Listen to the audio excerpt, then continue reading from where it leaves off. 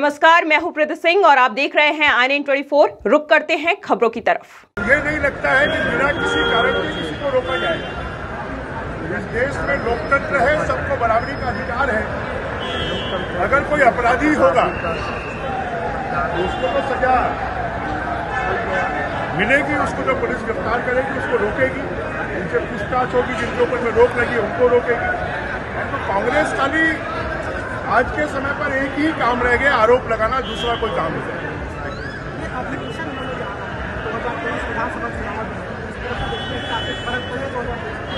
देखिए ये अधिवेशन जनता का नहीं है ये कांग्रेस का अधिवेशन है। और इससे छत्तीसगढ़ को कोई फ़ायदा नहीं होने वाला है।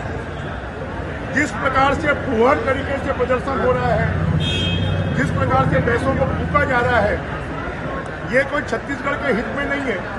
जिस प्रकार से भ्रष्टाचार के ऊपर में ईडी इनकम टैक्स कार्रवाई कर रही है, उससे ऐसा लगता है कि कांग्रेस खाली एक ही काम करती है, भ्रष्टाचार भ्रष्टाचार भ्रष्टाचार।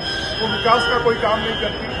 और इस अधिवेशन से हम तो चाहेंगे कि यहाँ पर सोनिया जी आ रही हैं, यहाँ पर राहुल जी आ रहे हैं, यहाँ पर प्रियंका जी आ रही हैं, यहाँ पर कांग्रेस के राष्ट्रीय अध्यक्ष आ रहे हैं। उनको पूछना चाहिए, भूपेश बघेल जी से कि गरीबों को आवास क्यों नहीं मिल रहा है गरीबों के घर में नल का पानी क्यों नहीं आ रहा है? बेरोजगारों को पच्चीस सौ रुपये बेरोजगारी भत्ता क्यों नहीं मिल रहा है?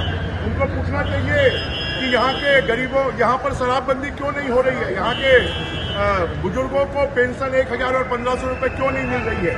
यहाँ पर विकास के काम क्यों नहीं हो रहे हैं?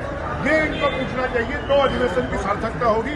अन्यथा छत्तीसगढ़ की जनता को इससे कोई फ़ायदा नहीं होगा, परेशानी नहीं होगी। हमारे चैनल को लाइक, शेयर, कमेंट और सब्सक्राइब कर बेल आइकन को दबाना ना भूलें।